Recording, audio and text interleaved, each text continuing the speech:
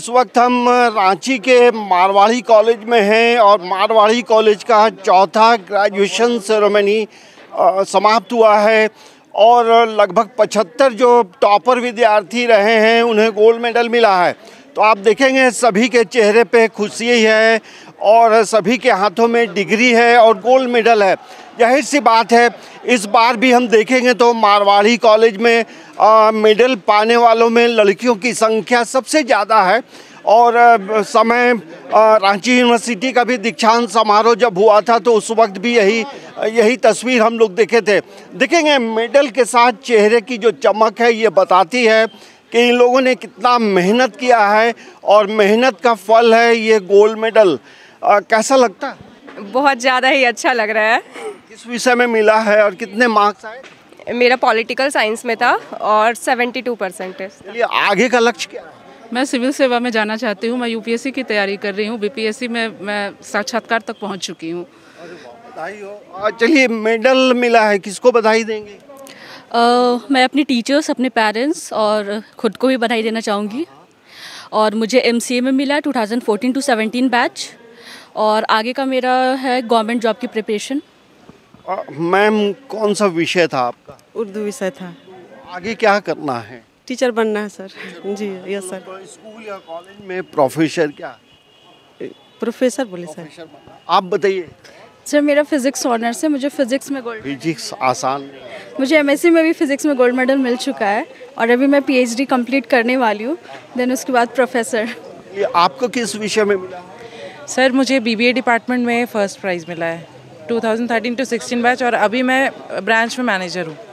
देखिए, तस्वीर आप देखिए। ये तस्वीर बताती है कितना मेहनत है और ये तस्वीर ज़ाहिर सी बात है, अखबारों में छपेगा तो एक अलग तस्वीर होगी। ये बताइए कितना घंटा आप लोग पढ़ती थी कि इतना अच्छा मेडल मिला। छः से आठ घंटे लगभग पढ़ती थी लगातार इसलिए मुझे एम एस सी बायोटेक्नोलॉजी में मिला है and my that credit goes to my parents because आगे क्या रिसर्च में जाना है क्या करना? मैं टीचिंग एज ए कर कर रही हूँ और आगे पीएचडी करने का सोच रही हूँ। प्रोफेसर बनना है मुझे। आप बताइए किस विषय में मिला है और आगे का लक्ष्य क्या है? मेरा एम कॉम में मिला है कॉमर्स डिपार्टमेंट सो चौदह सोलह में। मेरे को वही टीचर बनना है पीजीटी टीचर बनना है और अपने बच्चों को बहुत अच्छे से पढ़ाना है। जैसे मैं सीखी हूँ अपने टीचर से वैसे ही मुझे सिखाना है। देखिए कितना आत्मविश्वास है आ, किस विषय में मिला? मेरे को एम कॉम में मिला है। 2016-18 का बैच है उसमें मैंने गोल्ड मेडल हासिल किया है। आगे मुझे प्रोफेसर बनना है उसी का तैयारी चल रहा है और उस उसके अकॉर्डिंग मुझे अच्छे से प्रिपरेशन चल ये गोल्ड मेडल मिला है अब आगे का लक्ष्य क्या है? जी अभी मैं मेरा रांची यूनिवर्सिटी से पीएचडी चल रहा है और मैं भविष्य में असिस्टेंट प्रोफेसर बनना चाहता हूँ। जी। आपको किसमें मिला साइकोलॉजी ऑनर्स में मिला है गोल्ड मेडल आगे टीचिंग लाइन लाइफ में जाना चाहती हूँ। ये जो मेडल मिला है कितना मेहनत है घर का कैसा सहयोग था? सबसे बड़ा सहयोग तो मेरे भैया जी का था बड़े भैया का। वो हम हमेशा उन्होंने मेरा साथ दिया और काफ़ी मेहनत रात जग के पढ़ाई करना पड़ा। देखिए भैया को धन्यवाद दे रही है ऐसे तमाम लोग देखे माँ को भी धन्यवाद जो अभी इस दुनिया में नहीं है लेकिन उनका बहुत बड़ा योगदान रहा। चलिए आप हम 2014-17 का बंगाली डिपार्टमेंट का गोल्ड मेडलिस्ट है। मेरा लक्ष्य है कॉलेज प्रोफेसर बनना। आगे प्रोफेसर बनना है और बताइए किस विषय साइकोलॉजी आगे तो अभी प्राइवेट टीचिंग करा रहे प्राइवेट स्कूल में और आगे अभी पीएचडी करने का। आपका क्या लक्ष्य है? कौन सा विषय है? मेरा होम साइंस विषय है। होम साइंस में मैंने स्वर्ण पदक हासिल किया है। मतलब होम साइंस को मतलब देखा जाता है कि बहुत छोटे पैमाने पे ये है सब ये विषय लेकिन ये बहुत मतलब आगे चल के ये इसका बहुत ही अलग अलग क्षेत्र में इसका बहुत ही महत्व है। आगे भी जो है तमाम जो टॉपर्स हैं अब जो है फ़ोटो सेशन हो रहा है क्योंकि ये मेमोरेबल जो तस्वीरें हैं तमाम लोग अपने अपने कैमरे में कैद कर रहे हैं। एक सवाल आपसे बनता है। गोल्ड मेडल कितना ऊर्जावान मनाता है? गोल्ड मेडल जैसे जिन लोग को मिलता है एक तो इंस्पिरेशन भी लोग हम लोग इंस्पायर होते कि आगे और कुछ अच्छा करें तो ऐसे रिवॉर्ड्स मिलता है तो सबको अच्छा लगता है। कौन सा विषय आपका था? बायोटेक्नोलॉजी बायोटेक्नोलॉजी एक रिसर्च पेपर है बहुत नए नए जो इन्वेंशन भी होते हैं तो क्या आगे क्या करना है? मैं ऑलरेडी इस कॉलेज में पढ़ा रही हूँ एज अ गेस्ट फैकल्टी और आगे मेरी मनोकामना यही है कि मैं एज एन असिस्टेंट प्रोफेसर इसी कॉलेज में ज्वाइन कर लूँ। नाम क्या हो गया आपका? कुमारी दीक्षा सिंह। मेडल के लिए किसको धन्यवाद देंगी? माता पिता? बिल्कुल बिल्कुल। मेरे पेरेंट्स सबसे पहले उसमें भी मैं पापा को सबसे ज़्यादा क्रेडिट देना चाहूँगी।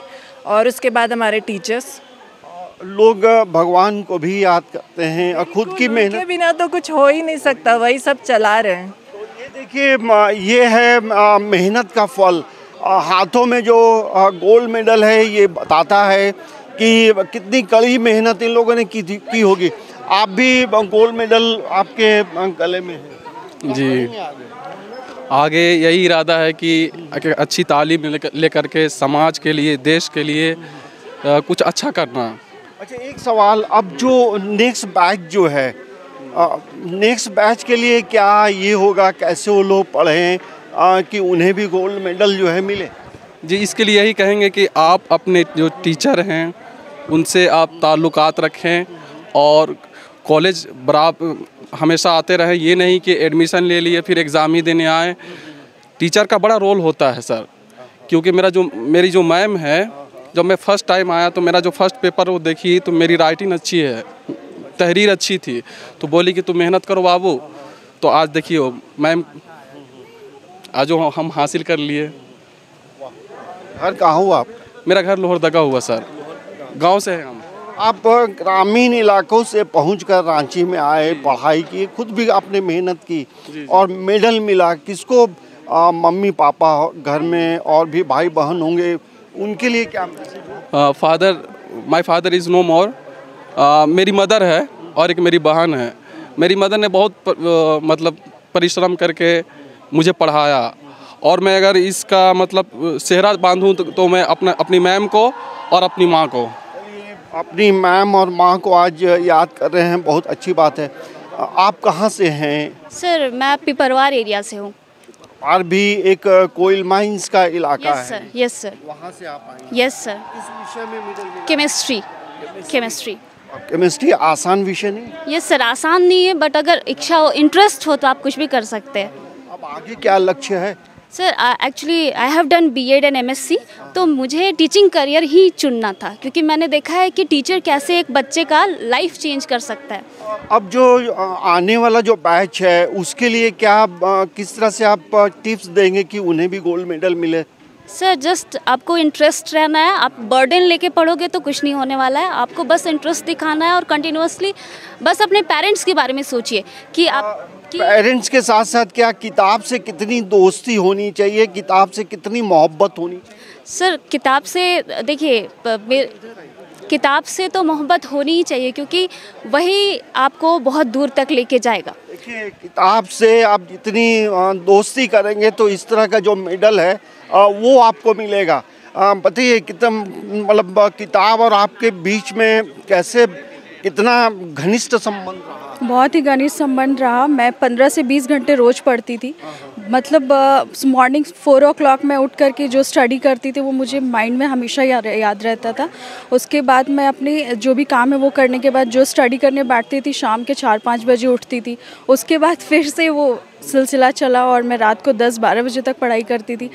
सो so, फिज़िक्स बहुत ही टफ सब्जेक्ट है लेकिन मैंने अब आगे क्या करेंगी? फिजिक्स आसान नहीं। अ, मेरा एम है कि मुझे प्रोफेसर बनना है फिज़िक्स में। सो so, मैं अभी पीएचडी कर रही हूँ और अ, मेरी इस साल कंप्लीट कहाँ आपका घर कहाँ हुआ? मेरा घर चर्च रोड रांची में ही है और मैं मारवाड़ी कॉलेज से बहुत नज़दीक में ही रहती हूँ। आपको किस विषय में मिला है? मुझे बीसीए डिपार्टमेंट मिला है। बैच क्या करेंगे? अब आगे मैं एंटरप्रेन्योर बनूँगा। मतलब मैं अपना कुछ स्टार्ट कर रहा हूँ। बहुत अच्छी बात है आप बताइए। मेरा नाम रंजीत कुमार है और मुझे केमिस्ट्री डिपार्टमेंट में गोल्ड मेडल मिला है और मैं तेरह सोलह का विद्यार्थी हूँ। अभी फ़िलहाल मैं बिहार के एक पीजीटी पोस्ट ग्रेजुएटेड टीचर हूँ और मुझे आगे चलकर प्रोफेसर बनना है। चलिए आगे चलकर मतलब टीचिंग लाइन में आगे जाना है। आप लोग कहाँ जाएँगे? Hi sir I am Anant Singh Dev. Economics में सर इकोनॉमिक्स आगे क्या सिविल सर्विस क्या no sir I have already done MBA from IIM so IIM से एमबीए करने के बाद I have join Tata Capital currently I am working Tata Capital तो ये बताइए आप आईएम से करने के बाद फिर यहाँ? सर ये पुरानी डिग्री मिल रही सर 2017 की। यस सर बताइए। आप आगे क्या लक्ष्य है? अभी तो मैं फ़िलहाल वायरलेस ऑपरेटर झारखंड गवर्नमेंट के पद पर कार्यरत हूँ। आगे अभी जे एस एस का तैयारी कर रहा हूँ अभी। आपको किस विषय में मिला? जी मुझे हिंदी में मिला। है जी थैंक यू आगे क्या करेंगी? जी फ़िलहाल तो मैं पीएचडी कर रही हूँ लेकिन मेरा आगे का सपना है कि मैं असिस्टेंट प्रोफेसर बनूँ। ये बताइए कि टॉपर होने के लिए मेडल पाने के लिए कितना मेहनत करने की ज़रूरत है जो आने वाले जो बैच है उसके लिए? जी मेहनत तो है। मेरे हिसाब से लगातार पढ़ना चाहिए हर दिन पढ़ना चाहिए। ये नहीं सोचना चाहिए कि आज नहीं पढ़े कल पढ़ेंगे। हर दिन पढ़िए सफलता ज़रूर मिलेगी। हर दिन पढ़िए सफलता ज़रूर। ज़रूर मिलेगी। मतलब ये है। पढ़ाई कभी बेकार नहीं जाएगा। वो आज नहीं तो कल ज़रूर काम आएगा। जी। आप बताइए किस सब्जेक्ट में मिला मैं? हमको हिस्ट्री ऑनर्स में। हिस्ट्री ऑनर्स में। कितना परसेंट था? मेरा seventy four point eighty eight. अच्छा मतलब मतलब और ये स्पेशल पेपर क्या? मेरा पॉलिटिकल साइंस वगैरह हिंदी उर्दू। जैसे हिस्ट्री में हिस्ट्री में ऑनर्स था। तो ऑनर्स में भी कुछ स्पेशल स्पेशल नहीं। अब आगे क्या करेंगे? आगे हम टीचिंग के लाइन में जाना चाहेंगे सर पढ़ाने हाँ। बच्चे लोगों को पढ़ाना आगे एजुकेशन जारी है। अच्छा। देखिए अब जैसे जैसे लोगों को मेडल मिल रहा है घर में भी सूचना दे रहे हैं आप। कि हमको गोल्ड मेडल मिल गया मम्मी पापा जी सबको पता। जी। घर में बता रहे हैं कि मेडल मिल जी मैं थैंक यू बोलना चाहती हूँ मेरे आ, ब्रदर को मेरे बड़े भैया। उन्होंने काफ़ी मेहनत की है मुझे यहाँ तक पहुँचाने में। कौन सा विषय था? मेरा कंप्यूटर मेंटेनेंस था B C M bachelor of computer maintenance अभी मैं आ, ट, आ, काम कर रही हूँ Tata consultancy service T C S में इन कोलकाता लोकेशन ओके और मैंने एम सी भी किया है फ्रॉम शास्त्रा यूनिवर्सिटी तमिलनाडु या मेडल लाने के लिए कितना घंटा पढ़ते ज़रूरी नहीं है कि आपको घंटों में पढ़ने की ज़रूरत है। आपको पर पहले अपना गोल फाइंड आउट करना है उस पर काम करना है। वो आपका जो गोल है वो पहले आप तय कर लें तो आपको ज़रूर मतलब गोल्ड मेडल मिलेगा। मेरा नाम प्रेरणा शर्मा है। प्रेरणा शर्मा। प्रेरणा शर्मा। किस विषय में मिला? साइकोलॉजी तो तो मतलब लोगों साइकोलॉजी भी पढ़ोगे ज़रूर। मैं क्या सोच रहा हूँ? नहीं नहीं सोचने का नहीं विषय। बिहेवियर को नोटिस करते हैं हम लोग बिहेवियर और एक्सपीरियंस को। लोग काफ़ी आगे तक जाते हैं जैसे सी आई पी हो इस सब क्षेत्रों में भी क्या किस क्षेत्र में जाना? अब प्रोफेसर पीएचडी करना चाहती हूँ। जैसे रांची में रिन पास है वहाँ भी जो साइकोलॉजी से जो मतलब एम ए किए हों वैसे लोग ही आगे जाते हाँ। उधर भी जा सकते हैं रांची यूनिवर्सिटी से आप पीएचडी करके या फिर एमफिल करके उस फ़ील्ड में क्लिनिकल साइकोलॉजी भी कर सकते हैं। ये बताइए कितना घंटा पढ़ाई करती थी? क्या घंटों में पढ़ना ज़रूरी है? बिल्कुल भी नहीं। घंटों में पढ़ाई करना बिल्कुल भी ज़रूरी नहीं है। आपको क्वालिटी देना ज़रूरी है टाइम देना ज़रूरी है लेकिन वैसे घंटों में नहीं। देखिए क्वालिटी देना ज़रूरी है तो आप समझ सकते हैं कि किस तरह से ये अपने प्रोफेसर के साथ फ़ोटो ली जा रही थी। कौन सा विषय आपका था? किस विषय में मिला? होम साइंस होम साइंस जी। अब आगे क्या करेंगे?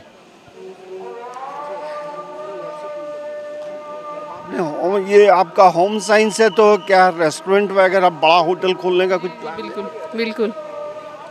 चलिए आपका कौन कौन सा कौन सा विषय था? मेरा होम साइंस था। हाँ। आ, अच्छे नंबर लाने के लिए कितना घंटा पढ़ना चाहिए? क्या घंटों में पढ़ना चाहिए?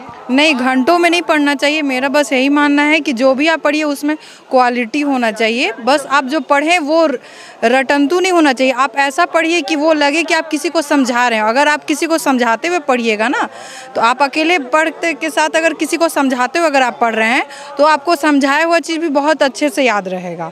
तो आप अच्छे से पढ़ सकते हो। वो चीज़ आपको अच्छे ज़्यादा ये नाम क्या हो गया? प्रियंका श्रीवास्तव? देखिए प्रियंका ने एक अच्छी बात कही कि रटंतु मत बनिए और लोगों को समझाने के लिए पढ़िए तो आप खुद तमाम चीज़ों को समझेंगे और एक अच्छा जो आंसर होता है वो आप लिख सकते हैं। मैम आपकी जो छात्रा वो कहती है आपकी छात्रा ने कहा रटंतु नहीं होना चाहिए। आप एक शिक्षिका रटंतु तो नहीं हमारे विद्यार्थी तो प्रैक्टिकल में ज़्यादा ही ये रहते हैं। इसलिए बहुत अच्छा रहता है। लिखना तो पड़ता ही होगा। लिखना तो पड़ता ही है। लिखना हाँ लिखना के सब्जेक्ट हैं लेकिन बच्चे बहुत अच्छे से पढ़ाई करते हैं। रेगुलर अब आपके विद्यार्थियों को मेडल मिलता है आप लोग पढ़ाते हैं समय दे कैसा लगता है? बहुत अच्छा लगता है। बहुत खुशी होती है कि हमारे बच्चे रंग बिरंगी तितलियों की तरह सभी जगह छाए रहते हैं। देखिए शिक्षक हैं इन्हें भी बेहद खुशी होती है। और हम कह सकते हैं कि जो दीक्षांत समारोह जो है मारवाड़ी कॉलेज का चौथा ग्रेजुएशन सेरेमनी कई लोगों को एक नई राह दिखा गया है और कई लोगों को ये भी बता गया है कि मेहनत का कोई विकल्प नहीं है। पहले तो उन बच्चों को मेरे ढेर सारी शुभकामनाएँ हैं बहुत बहुत मुबारकबाद है। जो बच्चे आज गोल्ड मेडल लिए हैं